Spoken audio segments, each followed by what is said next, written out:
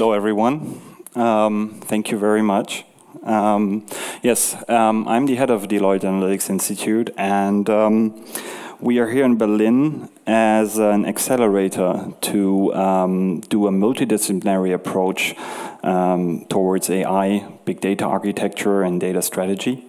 And we are a team of 106 uh, people in different domain areas sitting here and serving our clients, uh, serving federal institutions, working together with cutting edge technology providers, and as well as academia to deliver solutions to our clients.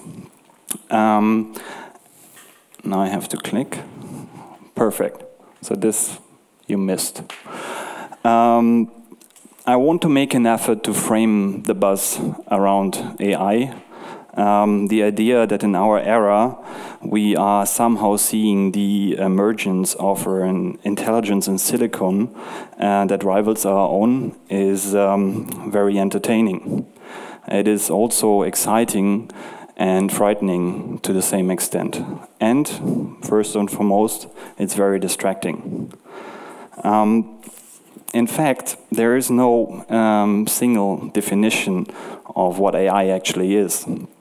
Um, in reality, it's a wide array of technologies that can be brought together um, to enable machines, like machine-machine computers, to act with what appears to be human-like levels of intelligence. AI today is probably known as narrow AI. You've heard that before on the big stage. Um, it is able to do very narrow tasks, like um, object recognition, facial recognition, or driving a car. Researchers are prone to research further into general AI, which supposedly will beat us in most of our cognitive tasks. Unlike humans, AI software is still unable to carry out multiple complex operations at the same time. Now, historically, the tale of AI is kind of a roller coaster ride. It's um, optimism uh, with every major breakthrough and disappointment when reaching an impasse.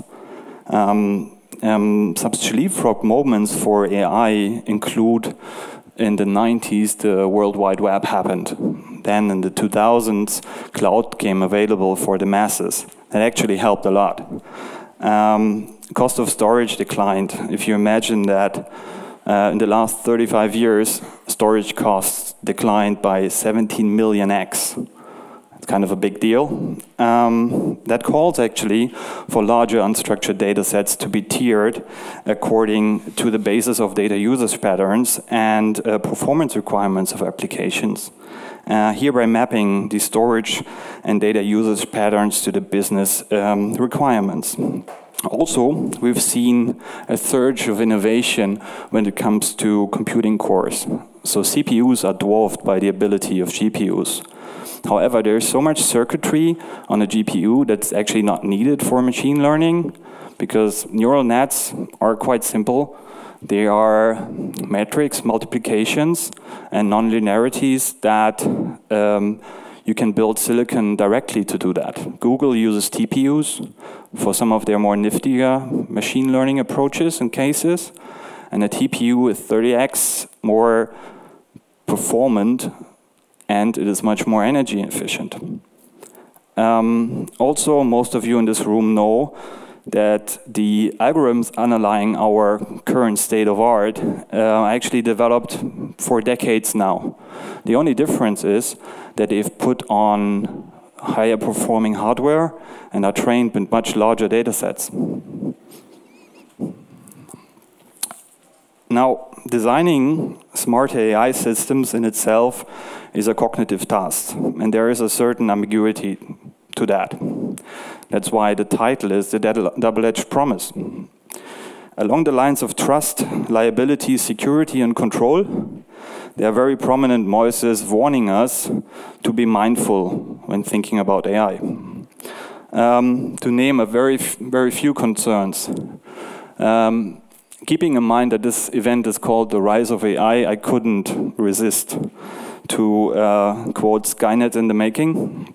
Um, let's assume that the drive for self-preservation and resource acquisition is inherent in all systems of a certain degree of intelligence. Um, and with techniques like deep learning, um, laying the groundwork for computers to learn more about the world around them, how can we control and guide machines if this is the case?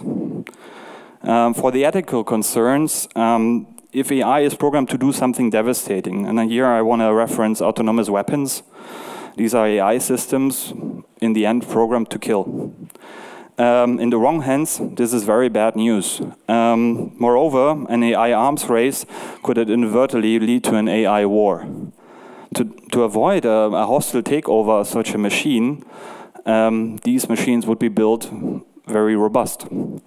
Um, that uh, would make it quite hard for a person um, to attack and overtake. On the other hand, it also would um, pose a great risk of people losing control over these machines.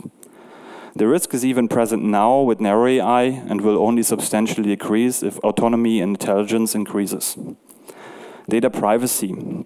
Now, I'm not going to take a step and talk about next week's Friday, GDPR kicking in. I'm, I'm more I'm more on the point of, of saying that do we have the ability to control and to know what data is being collected, ensure that the data that is collected is correct, update the information or provide the necessary context to misalign values. Now the question here is, how do we instill values in machines and how do we negotiate with those machines if and when we believe that the values are likely to differ from our own? Now to the positive side of things, and I could ramble on for, um, let's say, negative impact and scenarios for a long time, but I don't have the time now. Um, if, if such a system could potentially undergo re recursive um, self-improvement, triggering an intelligence explosion, it would indeed be uh, the ultimate search engine, beating us at our own game.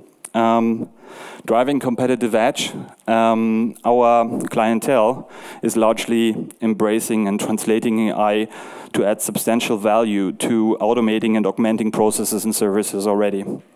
And they are around us, the way we navigate, consume, decide, operate. Even running critical infrastructure like power grids is largely supported by AI. Um, the journey has long begun, um, and it's primed to penetrate and scale on enterprise level. Absolutely deserving to be classified as an arms race, with very little potent players playing a leading role.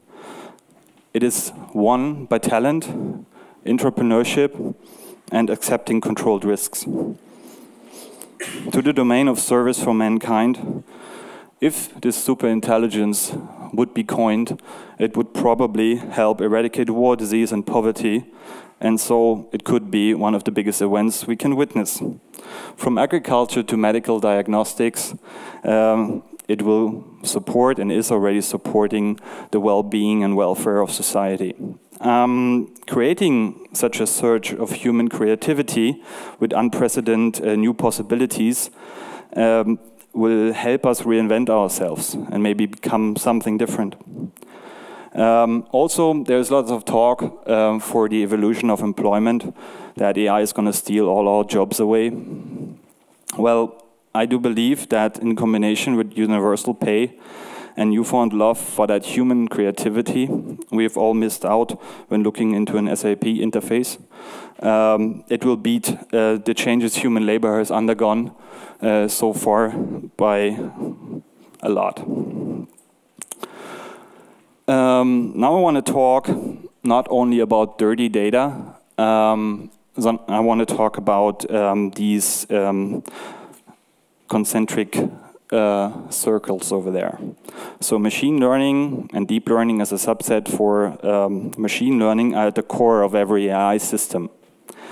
Deep learning allows um, the computational models composed um, of multiple processing layers uh, to learn representations of data with multiple levels of abstraction.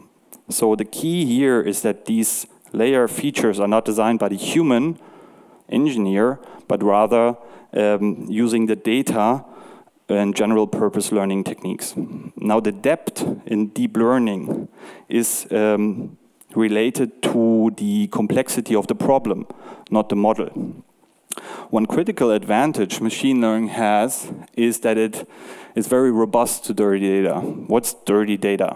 It's um, badly parsed, spotty, um, missing information, incorrect values, duplicate records.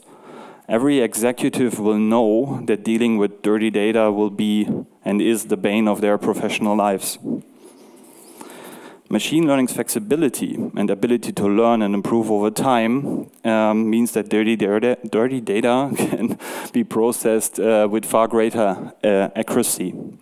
It also means that the technology uh, scales uh, very well, uh, something that has become very important in our era of ever increasing data volumes. Now, a fun fact is that um, only 0.5% of all data is ever analyzed or used. Now, if we put that into the relation of that by 2020, each human being on this planet will produce 1.7 megabytes of data per second, resulting into a surge of 44 trillion gigabytes. This is quite big, but it's not smart. But there is lots of potential. Now to the centerpiece um, of this and coming also slowly to a close. How to make it work is a big word. I, I work for a consultancy. Um, this is part of our DNA. We try to figure out and help. But I want to twist it um, in this um, scenario a little. Um, we take this stance from having worked on hundreds of use cases in the past years. Also, we take this stance uh, from our multidisciplinary approach to tackling such a theme like AI. Um, our clients have embarked on this journey to seek to increase this, the value add they see in the first promising steps towards AI.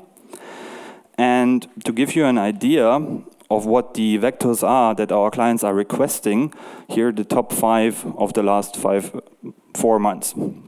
Uh, so on the first uh, spot is NLP with advances um, in, in OCR. The second bit is early warning systems. The third bit is knowledge management. Um, then um, there's computer vision in all its applications and uh, production quality optimization. So this is the demand side of our business. Um, and with that, we can, we can clearly say that clients are moving slowly away from expert judgment systems largely embracing rule-based systems supported by uh, RPA and robotics, and turning towards um, a windy and very, very cumbersome path towards uh, a judgment-based um, solution. Um, adhering to the convergence um, trend in big data architecture, data uh, is put in the center of gravity. Now, data centricity actually calls for a systematic collection uh, and cataloging of data assets. Now, they can only become an asset if um, they are ready to be used to generate business value. I talked about dirty data before, and you all know these haystacks, where you try to find a needle in. First you build the haystacks, or you find the needle. Um, I'm more into the picture of a warehouse where you can clearly describe and see what you find in each, you know, compartment. It's like bread, sugar, and milk. Um, because you need to understand the potential, know how to read the data, in order to harvest that and put that into value add. Um, with the help of that meaningful metadata in a central catalog, um, data can be found, um, understood, and used even beyond its collection. And that's the most important part, these last words of that sentence. I try to sketch it here, away from the haystack to a data asset inventory. Coincidentally, it also reads DAI, which stands for the Deloitte Analytics Institute.